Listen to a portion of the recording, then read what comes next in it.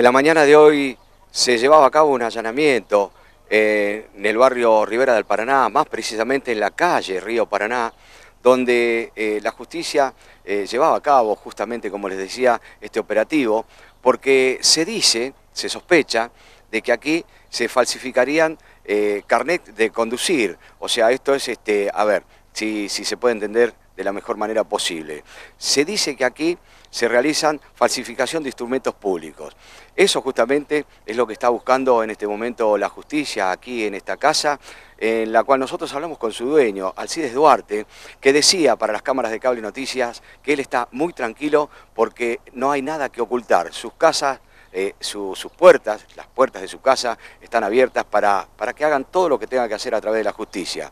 Él lo entiende de esta manera y está tranquilo. Tienen una orden de allanamiento la cual conozco un poquito las leyes y sé que están en sus facultades. Mi casa está abierta, así como ustedes lo ven y pueden filmarlo, de punta a punta, no hay nada para esconder. Lo que lamento es que encuentren todo un desorden y un desastre, como toda la casa de un pobre, ¿no? Pero ellos serán los testigos de lo que encuentren ahí adentro. No, no tengo nada para esconder ni nada.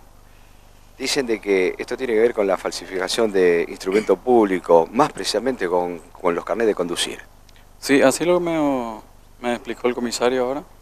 Eh, me dijo que hay una supuesta sospecha de que yo falsifico registro de conducir, ¿no es cierto? Entonces yo estuve hablando un, buen rato con el señor y le expliqué que realmente es una cosa muy delicada porque todo lo que sea tema de registro de conducir, los papeles mismos que salen hoy por hoy de los carnés que son tipo un DNI, ¿no? Creo que únicamente el municipio y la autoridad competente ahí reciben eso dentro de la, del municipio, ¿no? Lo, serían los papeles y eso, todas las, las, cuestiones para hacer el registro. Pero inclusive este tipo de carnets o este, tendrían que estar eh, eh, metidos o, eh, a ver, hay un sistema que maneja esto. Claro, supuestamente sí, está bien todo organizado de la provincia ya todo, ¿no es cierto?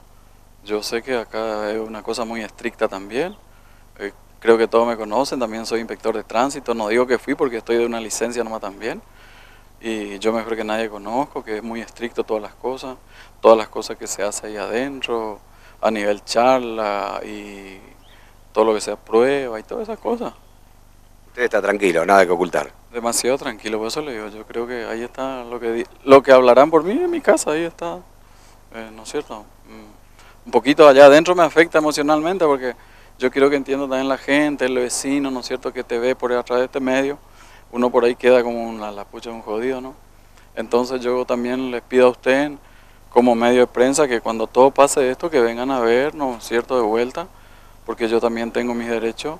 En su momento lo mejor voy a tener que accionar también de mi parte, legalmente, ¿no es cierto? Porque todo es un... Bueno, de última no me molesta mucho, porque yo estoy seguro de lo, vamos a decir, de mi obra, ¿no? De mi actitud.